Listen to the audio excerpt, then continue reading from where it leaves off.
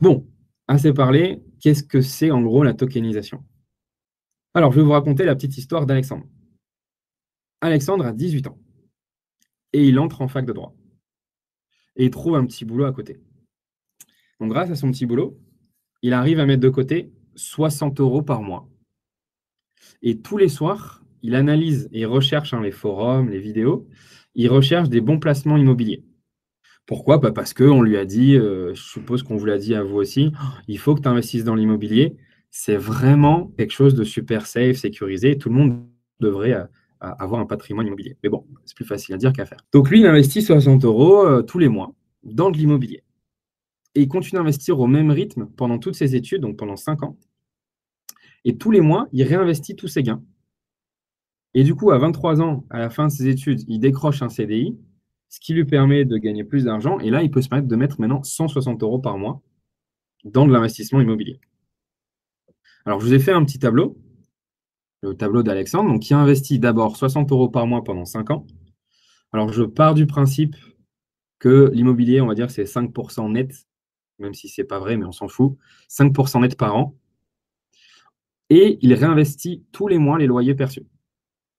Alors, je vais vous détailler euh, la, première ligne pour que vous compreniez bien. Donc, on commence ici au mois de janvier. Donc là, le, Alex, il investit 60 euros dans de l'immobilier. Donc, il achète pour 60 euros d'appartement. Le mois suivant, il rajoute 60 euros. Donc, en tout, son capital investi dans l'immobilier, c'est 120 euros. Et l'argent investi en janvier lui rapporte 2 centimes d'euros. 5% divisé par 12 de 60 euros. Ces 2 centimes d'euros, il est réinvesti en mars, plus 60 euros, ce qui fait 180,2 euros. Et au mois de mars, il gagne 50 centimes. Et ainsi de suite, ainsi de suite, ainsi de suite, ainsi de suite, pendant 7 ans. À la fin des 7 ans, en ayant investi 60 euros par mois à 5% par an et en réinvestissant à chaque fois tous les gains sur l'immobilier, il arrive avec un capital final de 12 000 euros. Et tous les mois, il gagne 50 euros. Donc en gros, tous les ans, il se fait 535 euros juste en mettant 60 euros par mois. Alors c'est clair que 535 euros par an, ça ne fait pas rêver, mais en même temps, il a un capital que de 12 000 euros. Hein. Donc multiplier tout ça par euh, des chiffres plus intéressants et plus importants, parce que là on parle d'un étudiant qui a 18 ans, et bah, du coup vous aurez des revenus beaucoup plus intéressants, tout comme ceux qui investissent dans l'immobilier. Alors comment il fait Alex? Parce qu'aujourd'hui, investir dans l'immobilier, on ne peut pas vraiment le faire avec 60 euros. Donc un bien immobilier, il faut comprendre que ça a plusieurs caractéristiques pour bien comprendre la tokenisation. La caractéristique, c'est qu'un bien immobilier, ça a un prix. C'est la valeur. Alors la valeur, c'est combien a priori euh, vaut cet appartement et combien a priori il pourrait générer. Et quand on additionne tout ça, ça nous donne du coup la valeur. Il peut générer un rendement, ce qu'on appelle le loyer. Donc en gros, c'est un rendement, un truc qui tombe tous les mois. Il peut générer aussi une plus-value lors de la revente. Alors, ça, c'est important. Un actif immobilier, c'est un bien qui est illiquide. Alors, illiquide, ça veut dire quoi? Imaginez que demain, vous avez 100 000 euros sur votre compte bancaire. Ça veut dire que vous avez 100 000 euros de liquidité. Vous êtes liquide. Cet argent, vous pouvez l'utiliser. Vous pouvez le dépenser, euh, vous pouvez acheter du pain avec. Et demain, vous achetez ensuite un appartement qui vaut 100 000 euros. Donc, vous achetez cet appartement 100 000 euros. Et donc, tout d'un coup, les 100 000 euros que vous avez et que vous pouviez utiliser pour acheter du pain se retrouvent bloqués dans les murs de l'appartement. Et vous ne pouvez pas acheter du pain avec votre appartement. Vous ne pouvez pas aller voir votre boulangère et dire bah, Tiens, c'est ma lampe, elle vaut 15 euros, prends-la, donne-moi du pain. Donc, c'est ça qu'on appelle illiquide, bloqué dans le bien. Bon, l'investissement dans l'immobilier, même si je suppose qu'il y en a plein qui vont dire Mais non, Pascal, euh, on va parler en règle générale hein, quand même. L'investissement immobilier, c'est quand même compliqué. Hein, c'est pas comme ça, en deux secondes, que je peux dire, bah, tiens, cet appartement il est pas mal, j'achète demain. Ben non. Il faut passer par euh, souvent euh, des, agents immobiliers. Après, bien évidemment, il y a notre ami le notaire dont on a parlé euh, lundi. il y a la négociation avec, avec le propriétaire. Enfin voilà, c'est quand je dis compliqué, je ne dis pas que c'est insurmontable, je dis juste que c'est compliqué, c'est pas facile. Il ne faut pas dire que c'est facile. C'est long, c'est coûteux. Hein, il y, a, le notaire à payer, il y a plein de frais. C'est un, coût aussi en termes de temps. Il faut visiter les appartements. Il faut avoir le temps pour aller visiter. Et du coup, tout ça, si en plus on ajoute le fait que la plupart du temps, pour acheter un appartement, en tout cas dans des pays comme la France, euh, bah, il faut passer par un crédit quand on n'a pas la liquidité. même quand on l'a, c'est toujours mieux quand même de passer par un crédit, il hein, faut rester liquide. Euh, et ben pour monter un crédit, il faut un dossier. Et donc, si vous avez un CDD, si vous avez 24 ans, euh, à part s'il n'y a papa-maman derrière ou un gros, euh, une grosse caution derrière, c'est très compliqué. Donc, on va dire que quand même, pour la plupart des gens, c'est compliqué d'être propriétaire et d'accéder à la propriété. Et encore plus quand justement on est jeune et qu'on a envie d'entreprendre. Il y en a qui le font. Il y a plein de vidéos sur YouTube. Hein. Je vais taper sur YouTube. Là. il y a plein de YouTubeurs qui font ça. Mais dans tous les cas, c'est long, coûteux et compliqué.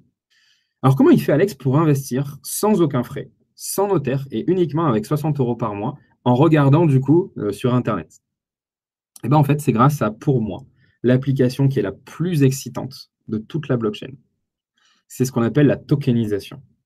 Alors, la tokenisation, on peut euh, l'appeler de plein d'autres manières. Il y a la, sécurisation, il y a la titrisation digitale. Alors j'aime bien le mot titrisation digitale. Alors la titrisation, comme son nom l'indique, c'est de, quelque chose en créer un titre financier, un, produit financier.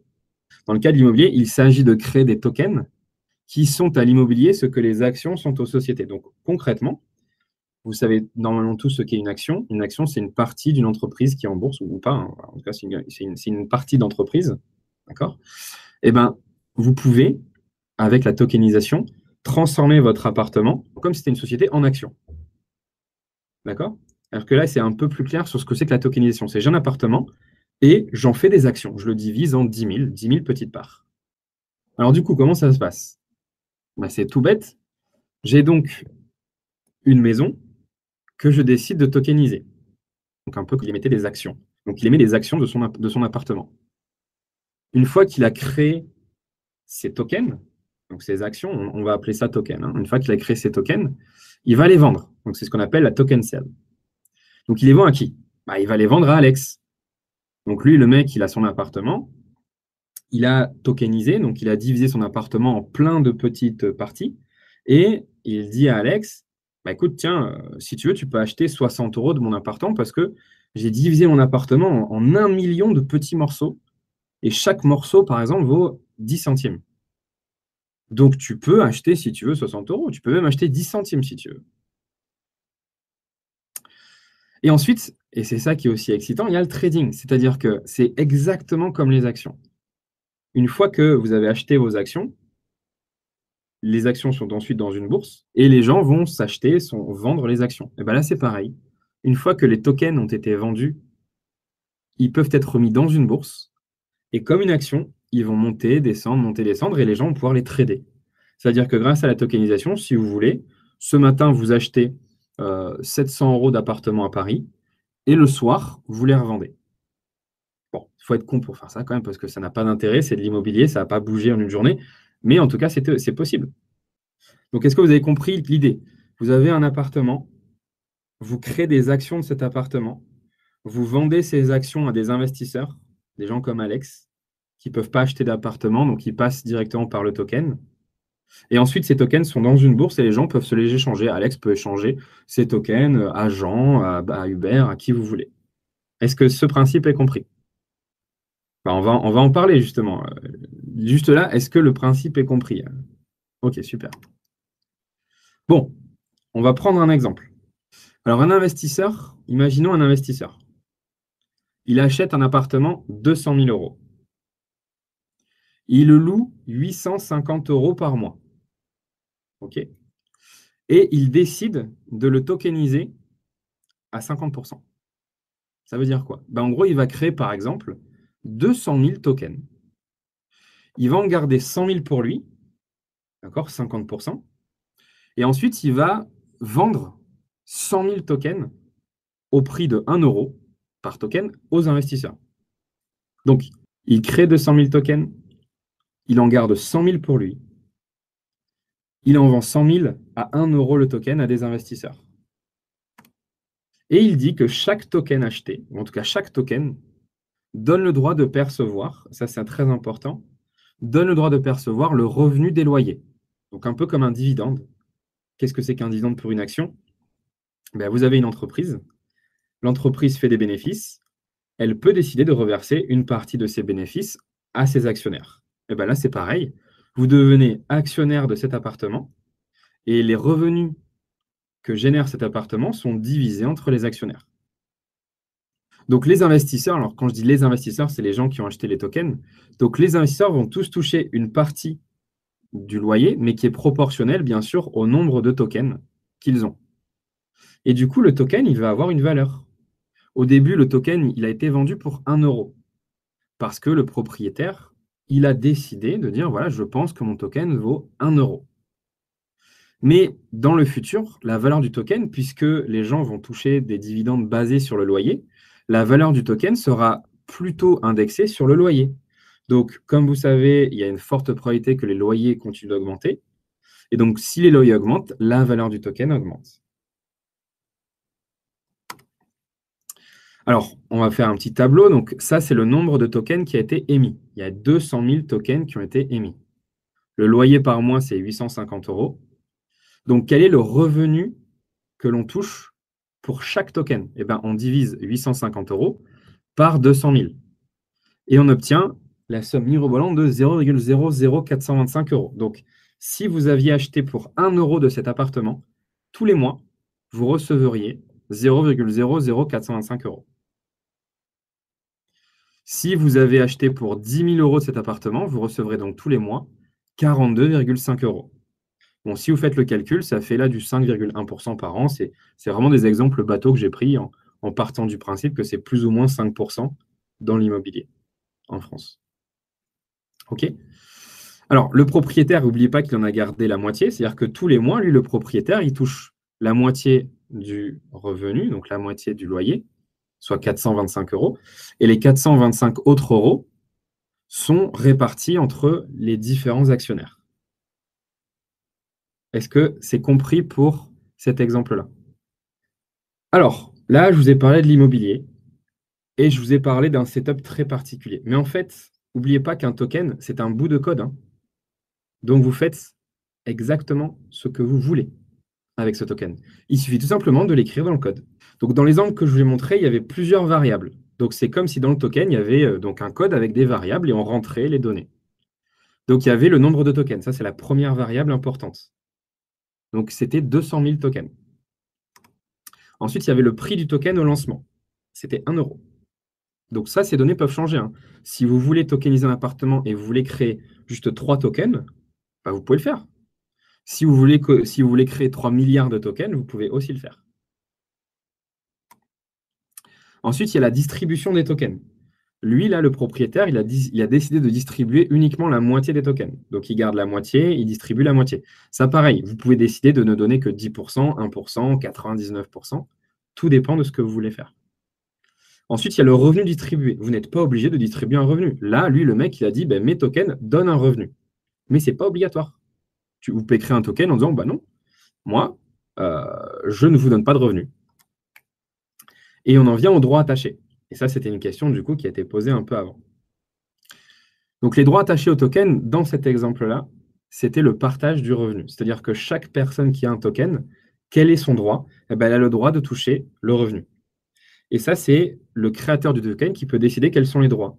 Donc par exemple, on peut donner le droit d'usage. Et donc on pourrait dire que ben, chaque personne qui a, par exemple, 5000 tokens a le droit de passer un week-end par an dans mon appartement où chaque personne qui a, par exemple, un token a le droit de me serrer la main quand il me voit dans la rue. Ou chaque personne, enfin, vous voyez le truc en gros.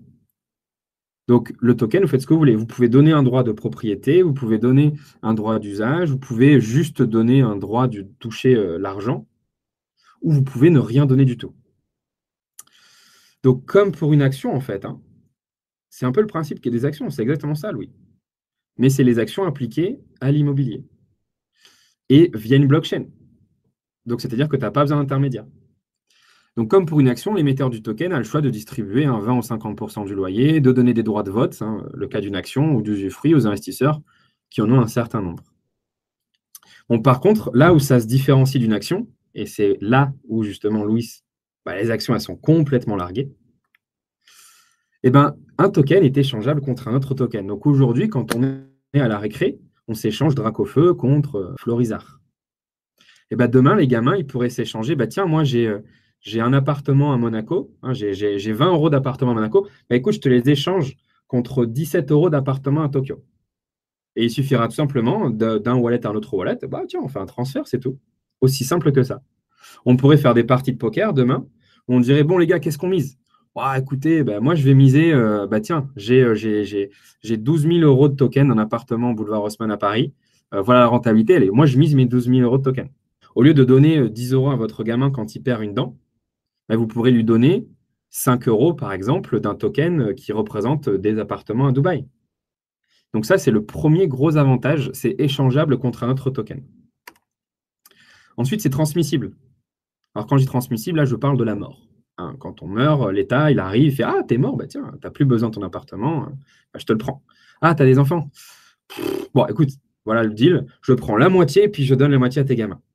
Bon, ben, un token, c'est transmissible comme ça. Tu veux transmettre tout ton patrimoine immobilier à tes enfants, tu tokenises tout ton patrimoine, hop, tu l'envoies dans le wallet de ta fille, pas notaire, rien du tout, ta fille devient propriétaire.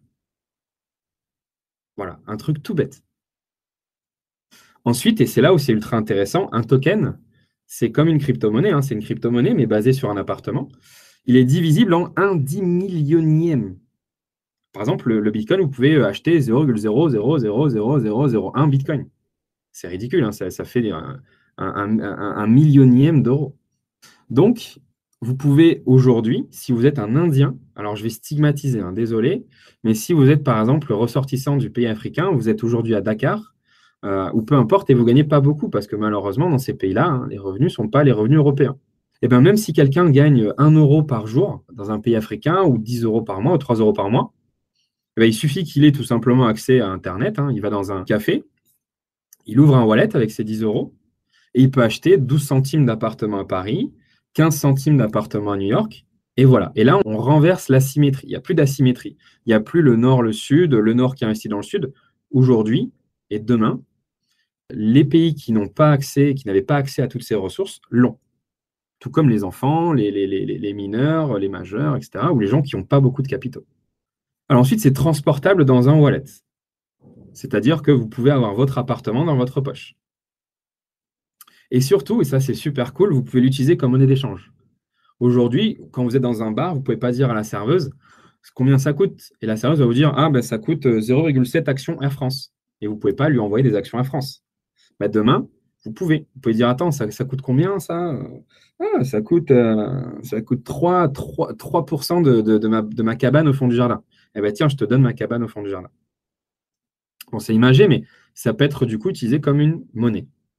Alors là, je vous parle de choses qui sont dans le futur, hein, bien évidemment. Ça, ça, ça, existe aujourd'hui. Il y a 3-4 euh, appartements tokenisés à Dubaï, il y a quelques appartements aux États-Unis, il y a pas mal d'appartements en Corée. Comme je vous l'ai dit, on en reparlera après, parce que j'ai commencé à, lire deux, trois trucs juridiques, machin, machin, etc. Bien évidemment, ça, ça fait partie des problèmes dont on parlera vendredi. Il faut des cadres légaux qui n'existent pas aujourd'hui. Est-ce que c'est OK pour tout le jusqu'à maintenant? Allez, on passe à la suite. Alors, le trading et les échanges.